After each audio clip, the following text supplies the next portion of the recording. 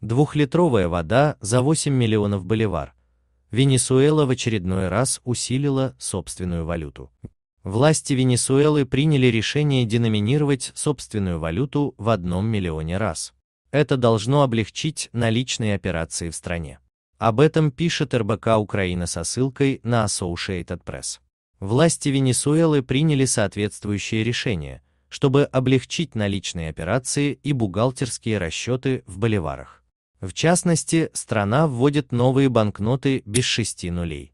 Самая важная и фундаментальная причина заключается в том, что платежные системы уже упали, потому что количество цифр делает платежные системы и выполнение математических расчетов практически неуправляемыми, заявил профессор экономики Центрального университета Хосе Гера. Отмечается, что во время старой системы расчетов двухлитровая газировка могла стоить более 8 миллионов боливаров.